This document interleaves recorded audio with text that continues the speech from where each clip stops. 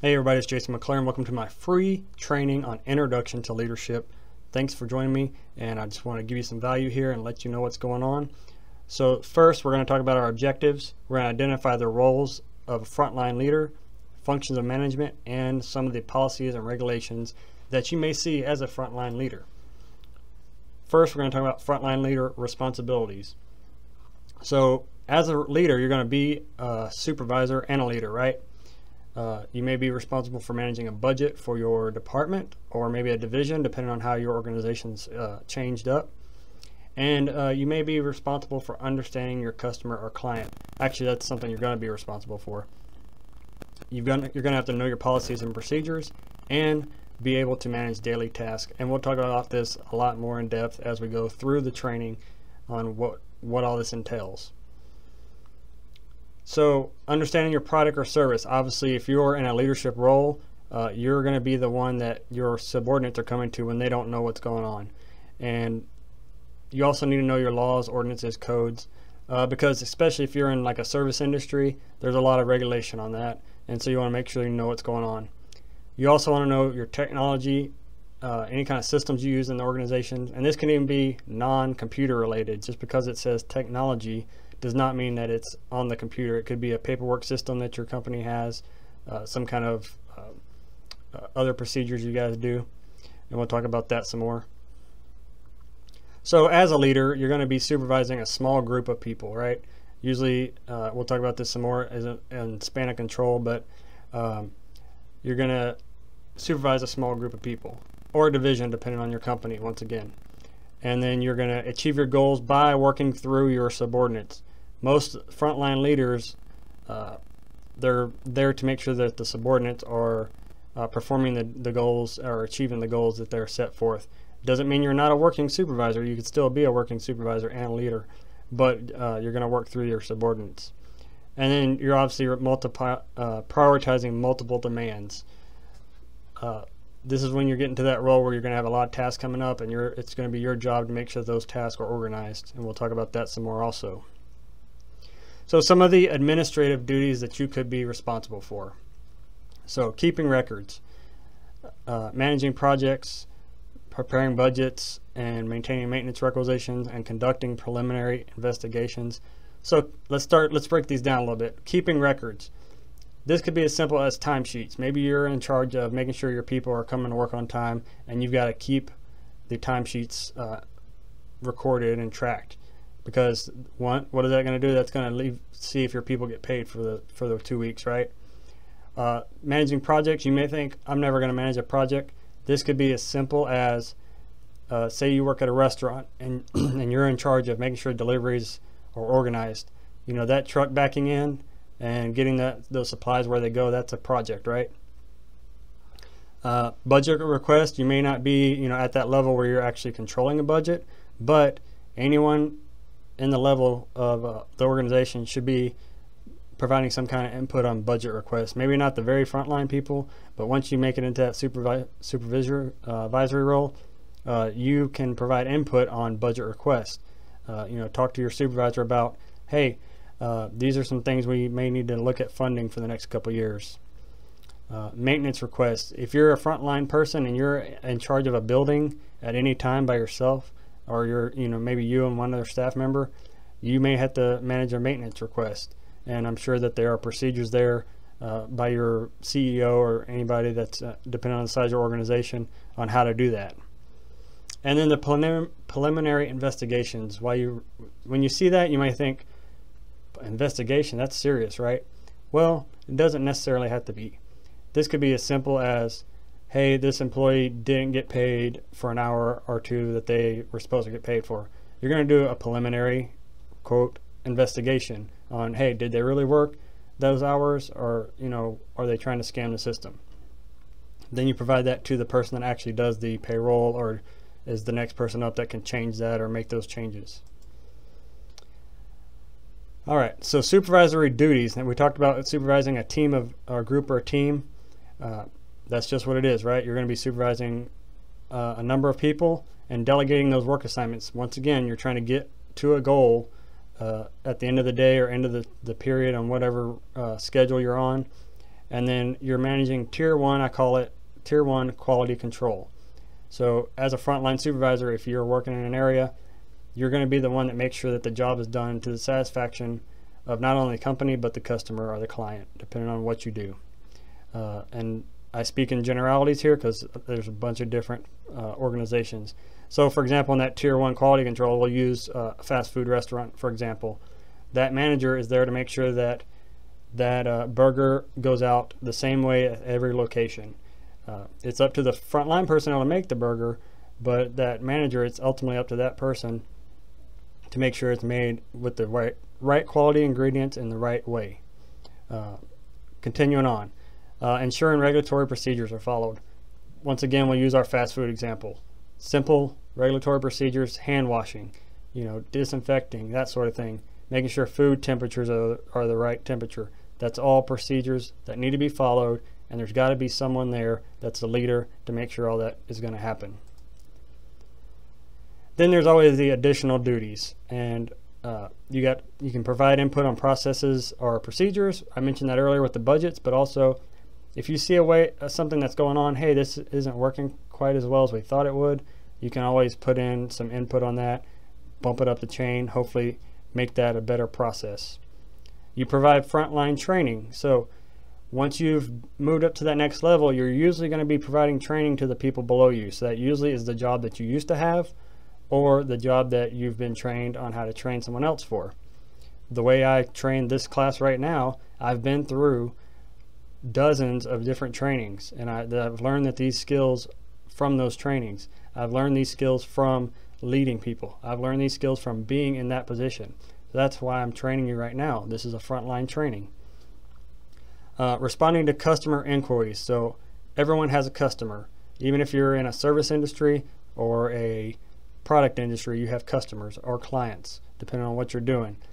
The frontline leader is going to be the one that responds to those inquiries first, right?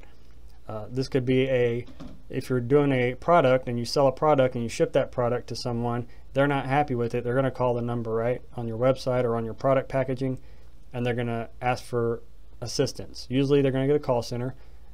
Well, if th that person that answers the phone is not uh, meeting that customer's need, it's up to that frontline supervisor, frontline leader to respond to that inquiry. Then you always have the quote unquote other duties as assigned. This is a bullet point you start to see on a lot of job descriptions, and that's so that companies can task you with different things throughout your career.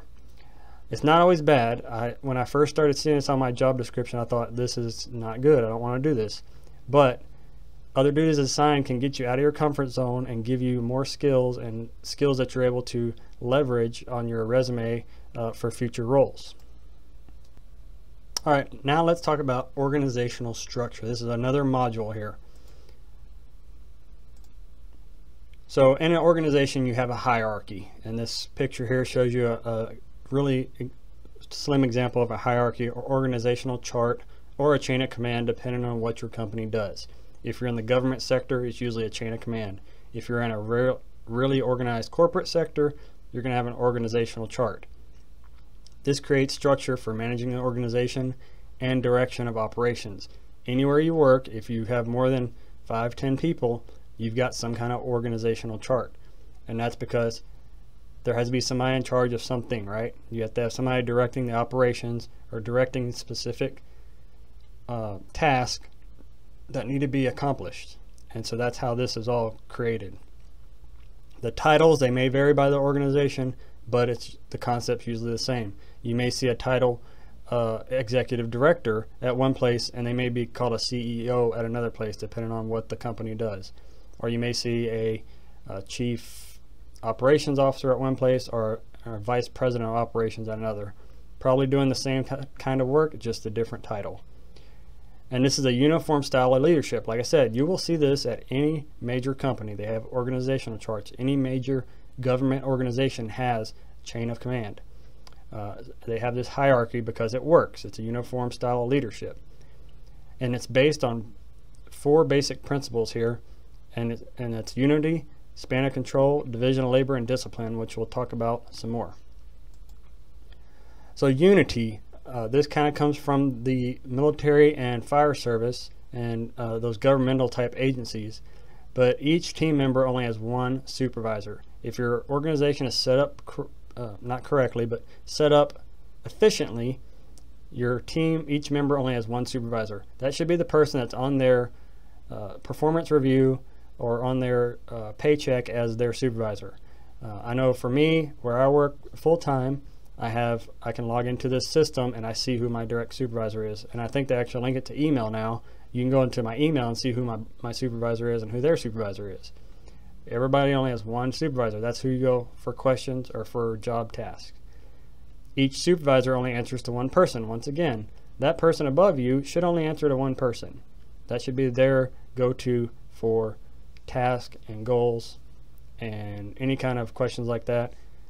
And then now that kind of reverts back. You have a direct route of responsibility from the CEO or the corporate president, whatever the title is. It could be executive director, um, anything like that, to the front line. And if you look at uh, companies that are on the forefront of these Unity, they actually flip it and they have an inverted hierarchy where the Direct route of responsibility leads to the lead of the organization. So if you see the, on the picture here, the red, blue, and green square are leading directly to the corporate leader. And so it's kind of an inverted hierarchy.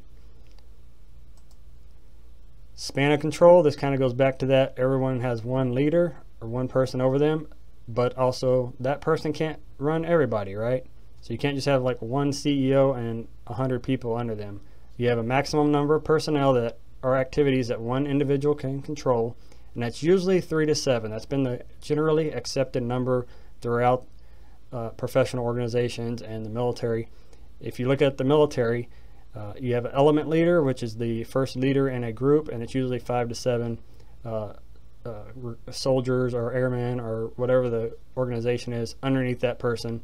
Then you have a flight leader or squadron leader, depending on what what uh, uh, branch of the military you're in. Uh, so it goes up from there. And then so then you have four or five squad leaders per flight, and then you have you know four or five flights per battalion. You know, I'm probably butchering it. All my military people are going to say I'm an idiot, but anyway, that's kind of the gist of it. Then you have division of labor. This is a way of organizing a workload and it breaks down the overall strategy into smaller tasks and prevents duplication of efforts. The best example of this is an assembly line or as you see in the picture here, this food, uh, the food line. You've got one guy doing mashed potatoes, one guy doing a side, one guy doing a meat.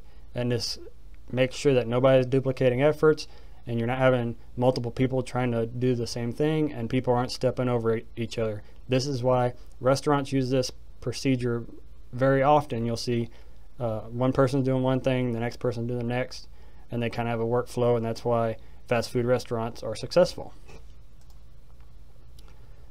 Then you have discipline. This is a, a task assignment by a supervisor or a standard operating procedure or operating guideline or policy. We'll talk about some more of these in a little bit. But this discipline is these procedures and policies are put in place, or these tasks are put in place uh, for a reason, right? There's something that's happened. So these these disciplines can be positive. So a standard procedure is a positive because it's there. Something happened in the past, or they found out a better way to do this, that it's going to make your job easier or make your job safer. Uh, or it could be corrective. This may be a task by a supervisor that says, hey, uh, can you do this this way? It's, the way you're doing it, it's not going to work. We need to correct that. Uh, and then you have other areas of an organization. This can be by function, geography, or staffing. And you see this in really large, you know, national, international companies where you have, you know, a function maybe, okay, this is our function, uh, this is our sales team. You haven't, that's an organization. Or you have geography. They may have a, a regional director and a region of the restaurant or the company. And then you have by staffing, okay, these are our uh, executive team and these are our marketing team. You know, it could be broken down by that. That could be uh, another division of the hierarchy that rolls up. Now let's talk about functions of management. So, functions of management, you got planning, which is developing a program or method to accomplish an objective. So this you pretty much everybody does this every day. I'm sure when you wake up, you don't just go and guess what you're going to do for the day. You plan your day out. You're going to develop a, a plan for the day to accomplish your objectives. Hey, okay, today I need to make sure that this package gets shipped out. So what do I need to do? I need to buy a stamp, or I need to get my stamps. I need to write the address on there. I need to get the address. It's a plan for a simple. Uh, that's a simple objective. Now, as a leader, you're going to have objectives that you have to accomplish on a bigger scale. So you're going to have to plan a little bit better, and so then you're going to get into organize, organizing. That's putting your resources together into an orderly, functional, structured format. So hopefully you've had policies and procedures, training, and you're able to organize and plan for your day or your shift or your month, whatever your timeline is for your goals, and make sure that all those resources and plans are put together to meet that goal. Then you have leading and controlling. So leading is just what it says. We've been talking about this this whole class. You're guiding or directing a course of action. You're going to put that planning and uh, organization into practice, guide your team, make sure that they're on the way to meet that goal and then controlling, restraining, regulating, governing, or counteracting. When you see this, you might think that that's a negative. Once again, this could be a positive, a positive control, either restraining or regulating uh, a task. You know, you can't say, okay, we need to build this building in 12 hours and expect your guys to overwork themselves, violate safety rules, and uh, you know generally do unaccepted practices to meet that goal. That's not a a regulated control. You need to control that process and make sure that it's safe.